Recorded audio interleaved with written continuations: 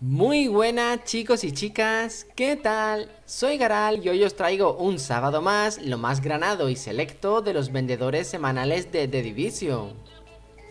Como ya sabéis, destacaré los objetos pensando tanto en jugadores veteranos como en los más novatos, para que sepan qué vale, qué no vale y puedan ir tirando. Esta semana ya os adelanto que los vendedores se han portado a medias, pero bueno, algo puede rescatarse. Por cierto, en pantalla tenéis un método que subí hace poco para acelerar la obtención de piezas exóticas, fichas de evento global y para completar la tarea semanal en muy poquito tiempo. Os dejo el enlace por aquí arriba por si queréis echarle un ojo. Pero bueno, no me enrollo más, vamos a ponernos cómodos que... ¡Comenzamos!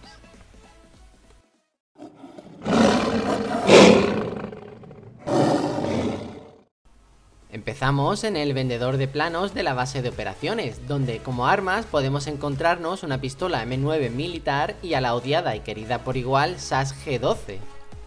De la pistola podéis pasar perfectamente, pero la SAS G12 deberíais tenerla al menos para ir tirando mientras cae la buena, la SAS G12 del mercado negro. Como armadura nos encontramos con un diseño de pistolera y con rodilleras de aguante. Como siempre estas cosas son imprescindibles, así que a por ellas. Como mods de armas tenemos un silenciador rifle Omega Pardo con amenaza reducida y daño de tiro a la cabeza, otro imprescindible, no dudéis en comprarlo. Y una mira de 15 aumentos con distancia óptima completamente prescindible, ya que hay opciones mucho mejores. Por último, un mod de armas y otro mod de electrónica. Haceos con ellos si os faltan porque siempre vienen bien. En el vendedor de equipo de zona oscura, aún en la base de operaciones, tenemos un mod de armas con salud muy bueno para ir tirando. Empezando ya nuestro recorrido por los pisos francos, en Autumn's Hope nos encontramos un mod de aguante con salud muy muy decente. Si viajamos a South Pau nos encontraremos con unos guantes de operador con buen stat de armas, 1000 de armadura y el talento sagacidad. Soy mucho más partidario de guantes con salvajismo, pero cambiando cura por muerte por daño crítico de arma podrían valer para subfusiles en PvE. Empezando ya el recorrido por los vendedores de la zona oscura, al suroeste de la zona 3 tenemos una mochila con el talento Invención con potencia de habilidad. Recalibrando armas por electrónica puede ser muy buena para sets como Reclamador o Autoridad Táctica. Eso sí, el stat de armadura es bastante bajo. Y en el mismo sitio tenemos un mod con más 4% de daño de mina rastreadora, el cual es el bonificador máximo, así que a por él. Siguiendo por el oeste de la zona 2 tenemos un mod de electrónica con salud, para aquellos que quieran elevar su potencia de habilidad sin descuidar su aguante. Vámonos ahora al otro lado, al este de la zona 2. Aquí tenemos un escarache militar con más 162% de daño a la cabeza y los talentos decisión, preparación y frialdad. Tal cual está es estupendo para mantener nuestras habilidades a punto y hacer mucho daño desde lejos.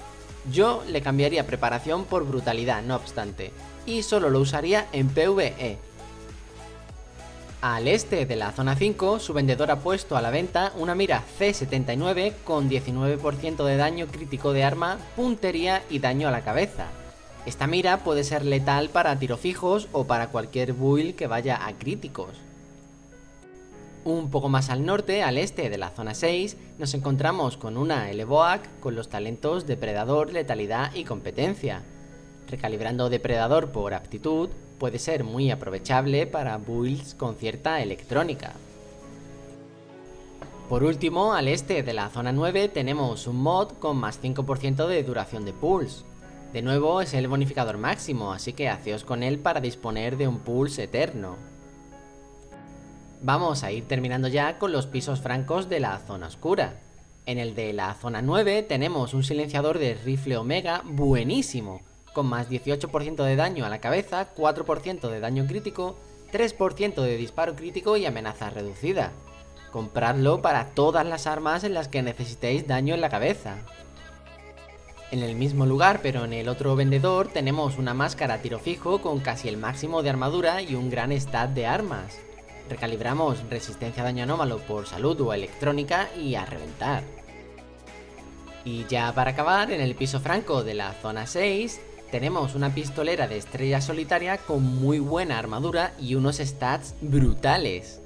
Yo recalibraría disparo crítico por salud, eso sí. Y hasta aquí el vídeo sobre los vendedores semanales, espero que os haya resultado de utilidad.